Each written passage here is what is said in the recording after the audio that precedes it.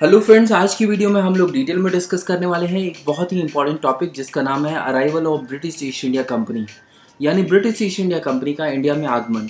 1488 में Cape of Good Hope की discovery हुई। इसी के साथ यूरोप से इंडिया और बाकी ईस्टर्न कंट्रीज़ के बीच में एक सी रूट स्टेब्लिश हो गया। यूरोपियन कंपनीज़ ने तुरंत इस सी रूट के थ्रू ईस्टर्न कंट्रीज़ के साथ ट्रेडिंग करना शुरू कर दी। क्योंकि केप ऑफ़ गुड होप को बार्टिलोमे डायस ने डिस्कवर किया था, जो कि एक पोर्चुगल एक्सप्लोरर था। तो शुरुआत में इस सी रूट को बेसिकली पोर्चुगल की कंपनीज़ ने ही यूज़ करना शुरू किया। और बाद में आसपास की और भी यूरोपियन कंपनीज़ ने इस सी रूट के थ्रू ट्रेडिंग करनी शुरू कर दी। अब बाकी यूरोपियन कंपनीज़ की देखा देखी 31 दिसंबर 1600 में ब्रिटेन के कुछ बिजनेसमैन ने भी एक कंपनी बनाई। जिसका नाम था governor and company of merchants of London trading with East Indies. अब इतना लंबा नाम सुनकर आप लोग कंफ्यूज मत हो। बेसिकली इसी कंपनी को हम लोग ब्रिटिश ईस्ट इंडिया कंपनी के नाम से जानते हैं। इंडिया और दूसरी ईस्टर्न कंट्रीज़ के साथ ट्रेड करने के लिए ब्रिटिश ईस्ट इंडिया कंपनी को ब्रिटेन की महारानी क्वीन एलिजाबेथ की परमिशन चाहिए थी। तो वो तुरंत अपना स्कूटर उठाकर एलिजाबेथ के पास पहुँचे और एक पेटिशन दिया और बताया कि ईस्ट इंडिया कंपनी कैसे इस सी रूट को यूज़ करके बढ़िया ट्रेड कर सकती है और बढ़िया प्रॉफिट बना सकती है। क्वीन एलिजाबेथ को उनकी बात तुरंत समझ आ गई और ईस्ट इंडिया कंपनी को एक चार्टर पास करके दे दिया। चार्टर मिलने के बाद ईस्ट इंडिया कंपनी बहुत खुश थी, क्योंकि चार्टर में पंद्रह सालों के लिए ईस्ट इंडिया कंपनी को मोनोपोली दे दी गई थी उन सारी कंट्रीज़ के साथ ट्रेड करने के लिए, जो केप ऑफ़ गुड होप के ईस्ट में आते हैं और स्ट्रेट ऑफ़ मैगलन के वेस्ट में। इतनी सारी कंट्रीज़ के साथ ट्रेड करने की मोनोपोली इसका मतलब किसी भी और ब्रिटिश कंपनी को इन एरियाज़ में ट्रेड करने की परमिशन नहीं थी। अब ईस्ट इंडिया कंपनी है तो एक कंपनी तो इसके अंदर बहुत सारे सर्वेंट्स थे क्लर्क से लेके ऑफिसर्स तक, जो रिपोर्ट करते थे एक गवर्नर को।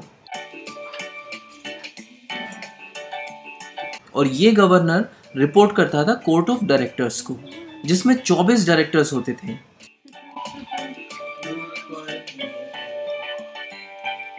जिन्हें अपॉइंट किया जाता था कोर्ट ऑफ़ प्रोप्राइटर्स के द्वारा। कंपनी रजिस्टर हो चुकी थी ट्रेडिंग के लिए परमिशन भी मिल चुकी थी इंडिया में एंटर करने के लिए फिर भी आठ साल लग गए। यानी 1600 में इस्टेब्लिश होने के बावजूद ईस्ट इंडिया कंपनी इंडिया में 1608 में पहुँची। इसका कारण था कि दूसरी यूरोपियन देशों की जो ट्रेडिंग कंपनीज़ थी specially Portuguese East India company जो इंडिया में पहले से ही आ चुकी थी, वो नहीं चाहती थी कि कोई भी और नई कंपनीज़ यहाँ पे आके उनको कंपटीशन दें। तो वो रास्ते में ही उनके साथ लड़ाई झगड़े और फाइट्स होती रहती थी। फाइनली जैसे तैसे ईस्ट इंडिया कंपनी 1608 में सूरत आ गई। यहाँ पर आकर उसे समझ में आया कि यहाँ तक पहुँचना ही काफ़ी नहीं था। नेक्स्ट चैलेंज उनका ऑलरेडी वेट कर रहा है। और वो चैलेंज ये है कि इंडिया में मुगलों का शासन है। और अगर ट्रेड में बढ़िया मुनाफा करना है तो मुगलों को भी खुश रखना ज़रूरी है। तो उस समय मुगल बादशाह था जहांगीर। और ब्रिटेन में एलिजाबेथ की 1603 में ही मृत्यु हो चुकी थी। तो अब जेम्स फ़र्स्ट का रूल चल रहा था। तो ईस्ट इंडिया कंपनी ने जेम्स फ़र्स्ट को बताया कि इंडिया में जहांगीर का रूल है और वो हमें यहाँ पे फैक्ट्री वैक्ट्री लगाने की कोई परमिशन दे नहीं रहा है। और फैक्ट्री नहीं लगेगी तो हम लोग यहाँ पे ट्रेडिंग का काम करेंगे कैसे? तो जेम्स फ़र्स्ट ने कहा कि बेटा तुम जो है ट्रेडिंग करने पे ध्यान दो। इन सारी चीज़ें मेरे ऊपर छोड़ दो। फैक्ट्री की परमिशन तो इसका बाप भी देगा। तो 1615 में जेम्स फ़र्स्ट ने जहांगीर के दरबार में एक डेलीगेशन भेजा। इस डेलीगेशन को लीड कर रहे थे sir Thomas Roe Thomas Roe तो ये मानिए कि कसम खा के आया था कि जहांगीर को अपनी मुट्ठी में कर लेगा। वो जहांगीर के दरबार में पहुँचा, वहाँ पे ही कुछ टाइम तक उसने रहना शुरू कर दिया। जहांगीर को हर तरह से उसने ब्राइब करने की कोशिश की। हर तरह की घूस उसको दी।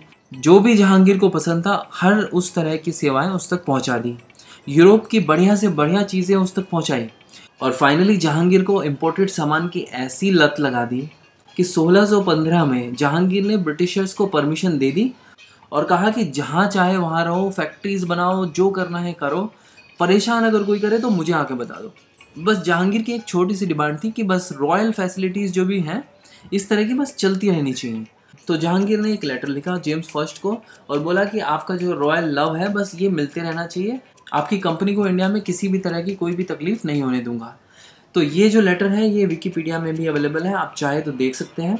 इस तरह ब्रिटिश ईस्ट इंडिया कंपनी ने अपनी ट्रेडिंग पोस्ट जो है, वो इस्टेब्लिश करनी शुरू कर दी। 1619 में सूरत में अपनी ट्रेडिंग पोस्ट बना दी।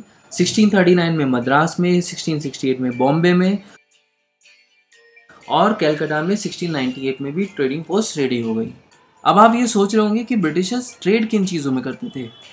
तो ब्रिटिशर्स लेकर आते थे कॉफ़ी और पर्शियन हॉर्सेस और यहाँ से लेकर जाते थे कॉटन और सिल्क के कपड़े. और इसके अलावा सॉल्ट पीटर तो इंडिया जो है, वो एक बहुत ही रिलायबल सप्लायर था सॉल्ट पीटर में. अब ये सॉल्ट पीटर होता क्या है? बेसिकली सॉल्ट पीटर जो है गन पाउडर बनाने का एक बहुत ही इंपॉर्टेंट कॉम्पोनेंट है. और पूरे यूरोप को इसकी ज़रूरत थी. तो ब्रिटिशर्स इसको यहाँ से इंडिया से लेके जाते थे और इंडिया इसका एक बहुत ही रिलायबल सप्लायर था। अब 1647 तक ब्रिटिश ईस्ट इंडिया कंपनी ने 23 फैक्ट्रीज खड़ी कर दी। बेसिकली इन फैक्ट्रीज का यूज़ क्या था? ब्रिटिशर्स इन फैक्ट्रीज को यूज़ करते थे गोदामों की तरह, जहाँ ट्रेडिंग का सारा सामान रखा जाता था, लोग इसमें रहते भी थे और साथ में इसकी सिक्योरिटी गार्ड्स भी थे। इनमें से तीन फैक्ट्रीज बहुत ही मेजर स्केल पर बनकर तैयार हो गई। ये फैक्ट्रीज फैक्ट्रीज कम किले ज़्यादा थे। इनमें से पहली फैक्ट्री थी बंगाल में फोर्ट विलियम, मद्रास में फोर्ट सेंट जॉर्ज और बॉम्बे में बॉम्बे कासल। इसके बाद मुगल किंग फारूक शियार ने 1717 में ब्रिटिशर्स की कस्टम ड्यूटी माफ़ कर दी। उसने बोला कि आप यहाँ पे ट्रेड कर सकते हो बिना कोई कस्टम ड्यूटी, बिना कोई टैक्स दिए हुए। अब इन सब के चलते ब्रिटिश ईस्ट इंडिया कंपनी ने धड़ाधड़ पैसा छापना शुरू कर दिया। लेकिन अभी तक ब्रिटिश ईस्ट इंडिया कंपनी एक ट्रेडिंग कंपनी ही है। इसके बाद दो बहुत ही इंपॉर्टेंट इवेंट्स हुए बैटल ऑफ़ प्लासी और बैटल ऑफ़ बक्सर जिन्होंने ब्रिटिश ईस्ट इंडिया कंपनी को इंडिया में एक ट्रेडिंग कंपनी से एक पॉलिटिकल पावर बना दिया। इन दोनों टॉपिक्स पर मैंने ऑलरेडी वीडियोस अपलोड कर दी हैं, आप इनको देख सकते हैं। बुक्स चैनल पर हिस्ट्री के बहुत सारे टॉपिक्स पर वीडियोस अवेलेबल हैं, आप उनको देख सकते हैं। अगर आपको ये वीडियो अच्छी लगी है तो इसको लाइक कीजिए, अपने दोस्तों के साथ व्हाट्सअप और फेसबुक पर शेयर कीजिए, और ऐसे ही और वीडियोज़ को देखते रहने के लिए चैनल को सब्सक्राइब कीजिए। Thank you so much for watching books Tawa